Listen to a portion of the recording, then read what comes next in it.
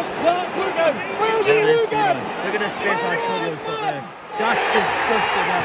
He just defending this. absolutely shocking. Some of the worst defend I've ever seen, honestly. It's disgusting.